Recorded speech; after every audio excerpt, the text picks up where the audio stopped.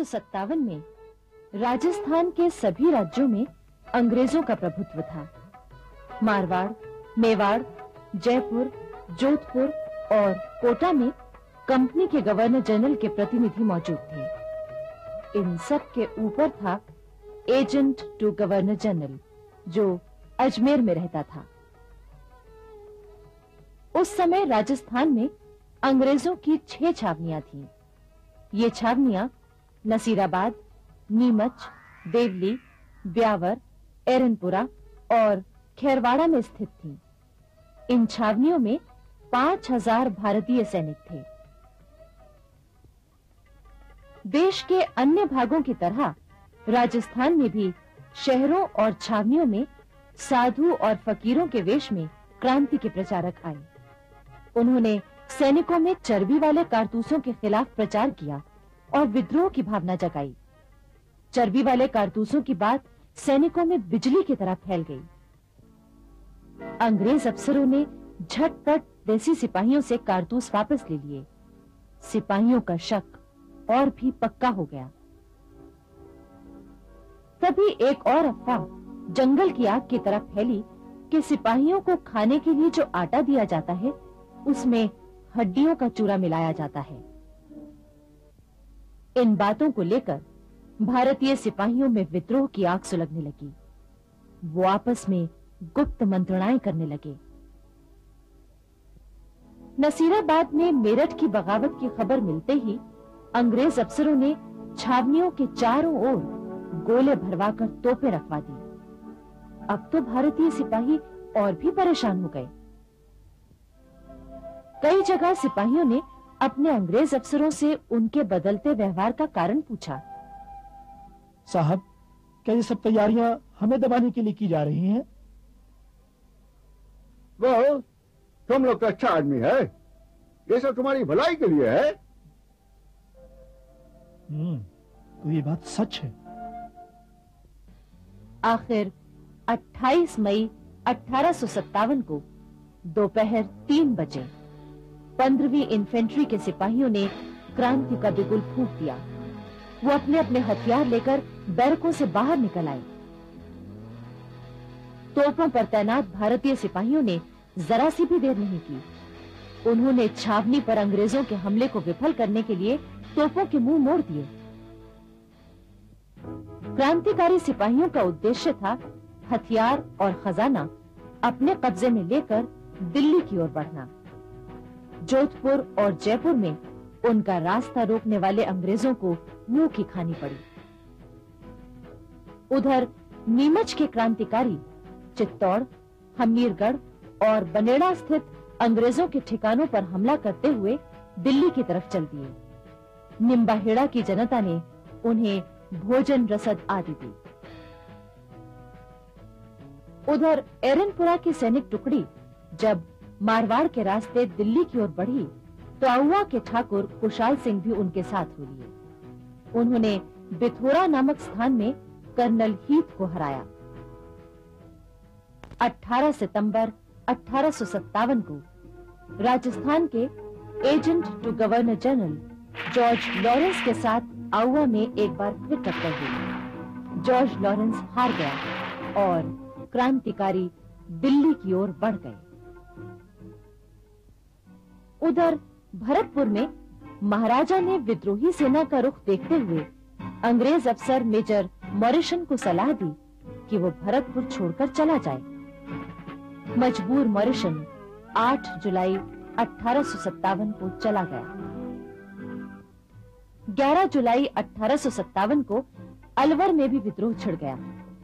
अलवर और आसपास के गाँव की जनता भी सिपाहियों के साथ हो गई। उसने आग में घी का काम किया।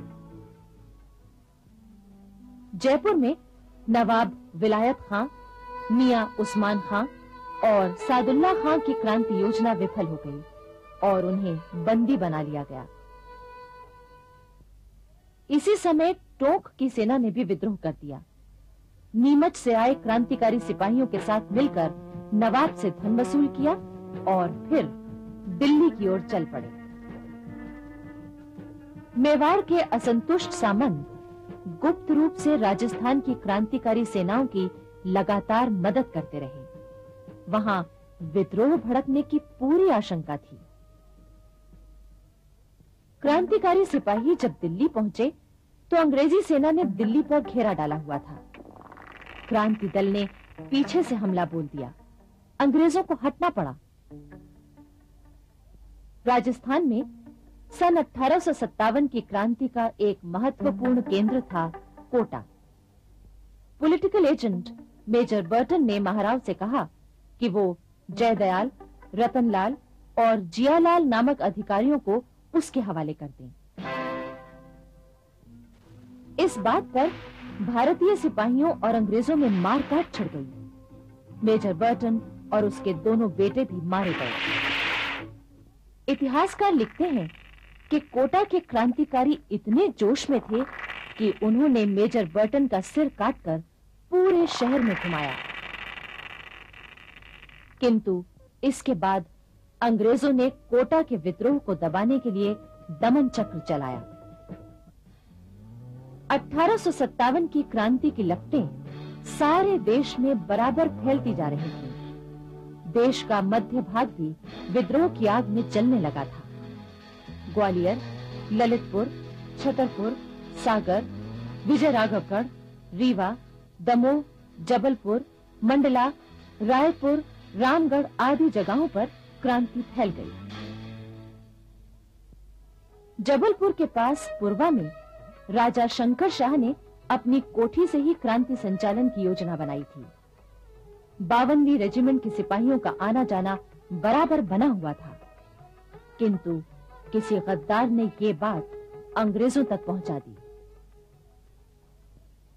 14 सितंबर अठारह को कैप्टन क्लर्क ने अंग्रेज़ सिपाहियों के साथ राजा शंकर शाह और उनके बेटे रघुनाथ शाह को गिरफ़्तार कर लिया। चटपट मुकदमा चला और दोनों बाप बेटे को अगले ही दिन तोपों से बांधकर उड़ा दिया गया। राजा शंकर शाह और उनके बेटे रघुनाथ शाह के बलिदान से सारे क्षेत्र में अंग्रेज़ों के प्रति घृणा फैल गई। भारतीय सिपाहियों ने उसी रात विद्रोह की घोषणा कर दी। इसी घटना से बेचैन होकर विजय राघवगढ़ के राजा सरयू प्रसाद ने भी विद्रोह की घोषणा कर दी। राजा सरयू प्रसाद की उम्र उस समय सत्रह साल की थी। उसके सिपाहियों ने अंग्रेज़ों के घोड़े छीन लिए। बाद में रीवा से अंग्रेज़ सेना आई। क्रांतिकारी सेना से युद्ध हुआ।